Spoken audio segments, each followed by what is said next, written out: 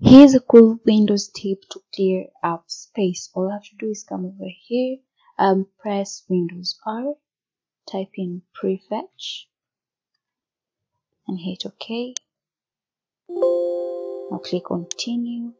And what this will do, it will show you files or folders in your PC that are taking up space.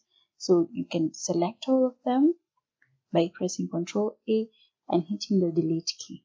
Now anything that is important will refuse to be deleted. So you just hit skip until the process is done. And I can see these are the only important files I have in my PC.